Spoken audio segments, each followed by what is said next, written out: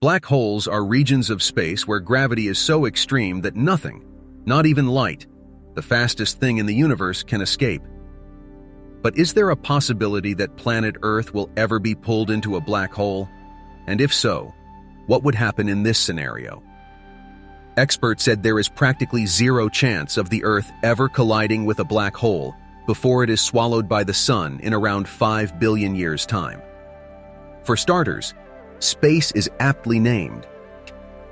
The overall average luminous matter density of the universe is about one proton per cubic meter. In the galaxy and the solar system, this density is significantly higher, but still almost non-existent.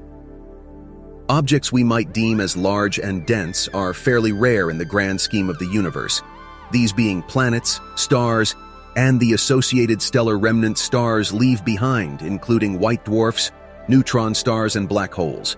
Gobiel said, While there are countless stars in our galaxy alone, random encounters between them are extremely rare due to the immense space between the objects. Short of a hyper-advanced civilization with near unlimited resources and energy that would purposefully launch a black hole towards the solar system, such an encounter is so unlikely as to be close to zero, Gobiel said. In the same way as we do not generally worry ourselves about stars passing through the solar system, this can be extended to all objects in the galaxy, he said.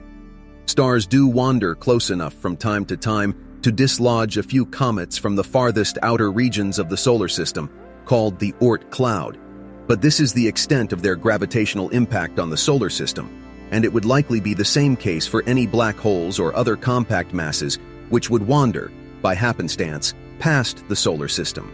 Do any nearby black holes pose a threat?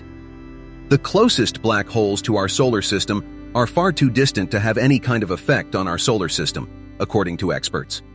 For example, V616 Monocerotis, V616 Mon, thought to be among the closest black holes to our solar system, is located more than 3,000 light-years away.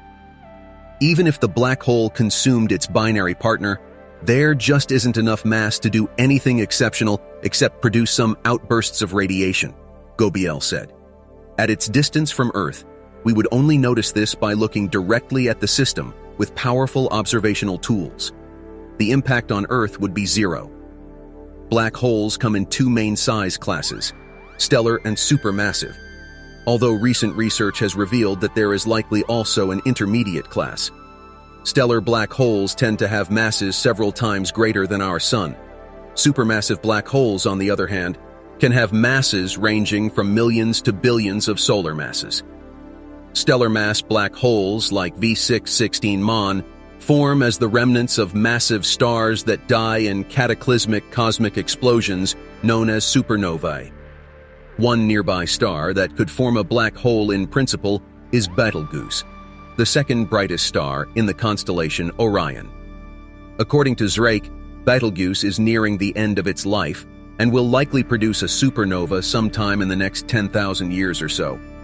But this star lies around 500 light years away, and if it does produce a black hole, there would be no impact on Earth. How close would we have to get to a black hole for it to have an impact?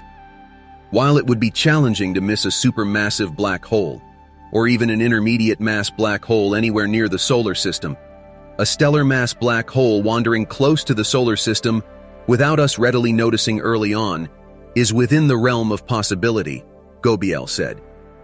But even a large stellar mass black hole, say 30 solar masses, would have to be closer than Neptune roughly 30 times the Earth-Sun distance, to begin to have gravitational impacts on Earth, and about the distance of Jupiter, roughly five times the Earth-Sun distance, to pull on Earth with roughly equal gravitational force to Sun's gravitational hold on Earth, he said. Black holes have a reputation for being omnipotent cosmic vacuum cleaners that consume everything in their path. But the reality is somewhat different, according to Gobiel. If a black hole somehow came extremely close to Earth and was traveling slowly enough, then our planet would likely be ripped apart by the extreme gravitational forces of the object. This terrestrial debris would go into orbit around the black hole and get vaporized into ionized gas, i.e., a gas consisting of atoms or molecules that have lost or gained electrons. The gas would form a ring of material around the black hole, known as an accretion disk, and most of it would be consumed over the course of a few hours to days.